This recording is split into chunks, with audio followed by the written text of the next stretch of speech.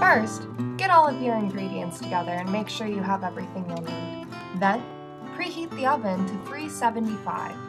Make sure you're turning the knob the right way though.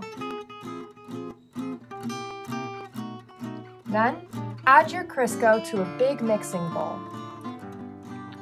And then, add to that one cup white sugar and one cup brown sugar.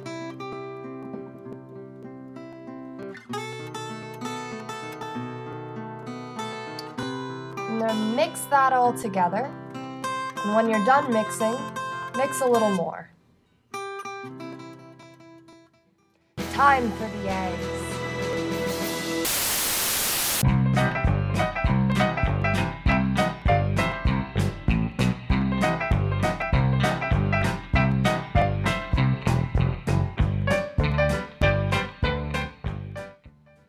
After the two eggs, add one teaspoon vanilla.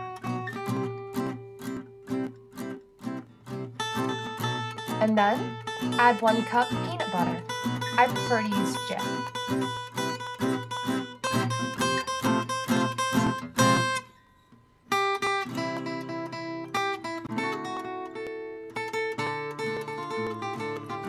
And then mix that all together too.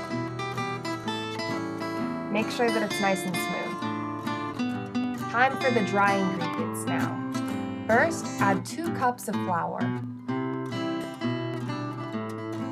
And then one half teaspoon of salt. Then add one teaspoon baking soda. And remember, you're mixing all of your dry ingredients separately. Then mix that all together and add to your wet ingredients. Now you're going to mix all of that together too. Then add some sugar to a separate bowl.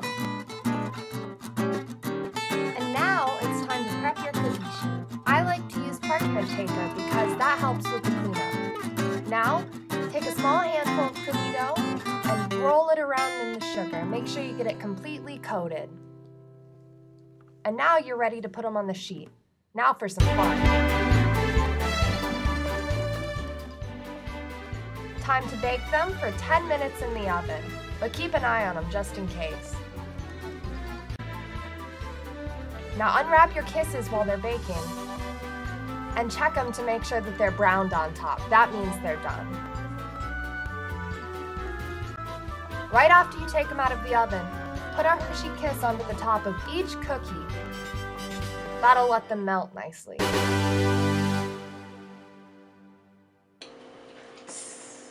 He did a good job with that. Get some extra kiss.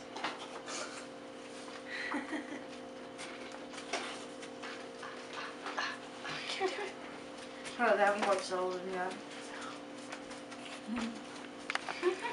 Let's stop eating hummus.